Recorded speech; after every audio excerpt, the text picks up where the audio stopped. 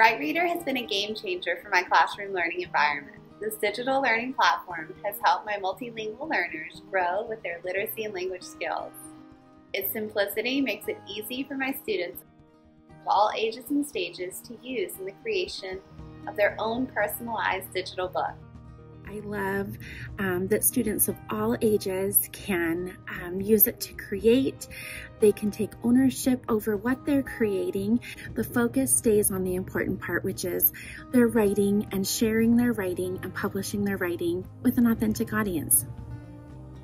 Det är ett väldigt enkelt verktyg som lägger fokus på skrivandet och inte det som är runt omkring.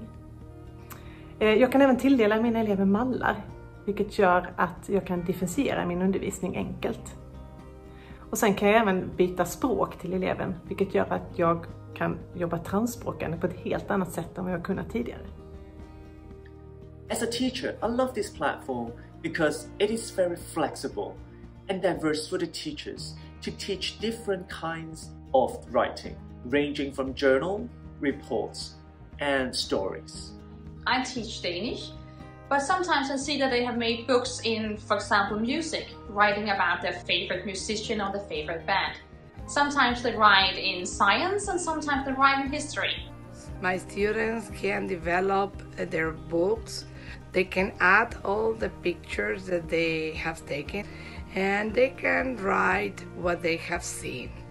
They can record their voices and after that, they can share the books from the bookshelf. So students can read their own creation as well as they can read the creations of the others. Wir machen es immer wieder, dass wir die fertigen, korrigierten Bücher ausdrucken und im Klassenzimmer an einem Büchertisch auslegen.